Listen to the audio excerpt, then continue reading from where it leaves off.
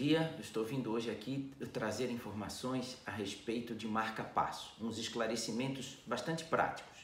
Em primeiro lugar, é importante se ter um conceito que o marca-passo ele é um aparelho que ele não mata ninguém e não torna ninguém eterno.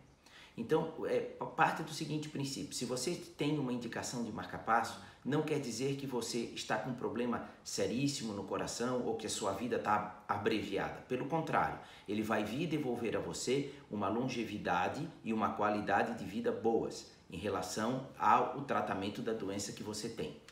Um outro dado muito importante é saber o seguinte: é que se você coloca um marca-passo, nem todos os problemas do seu coração estão resolvidos.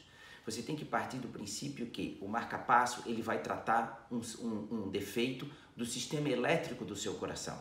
Então, pode, existem duas situações. Pode haver uma doença específica do sistema elétrico do coração, ou seja, em termos bem práticos, a fiação enferrujou. E você vai lá e vai colocar fios novos e, e um marca-passo para manter o seu coração batendo no ritmo adequado.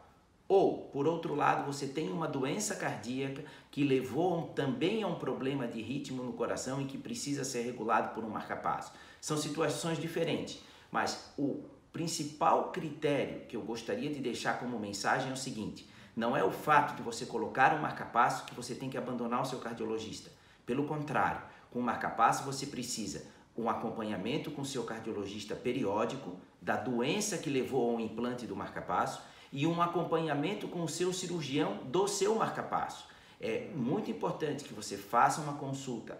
A gente normalmente recomenda de seis em seis meses para controle do marca-passo. E a consulta com o cardiologista, ela vai ficar de acordo com o que o cardiologista determinar. Se a sua doença precisar de consultas regulares, você deve ir regularmente ao seu cardiologista, independente ou não do seu marca-passo. Se a sua doença não determinar uma periodicidade tão pequena, você pode ir com o prazo que ele determinar, às vezes um prazo mais longo.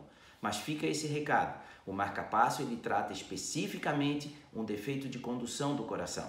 E esse defeito, corrigido pelo marca-passo, vai melhorar o seu sintoma, que às vezes pode ser de uma síncope, de um desmaio, ou vai melhorar a sua capacidade física, porque às vezes o seu coração pode estar batendo lento. E aí o marca-passo vai corrigir isso. Muito obrigado.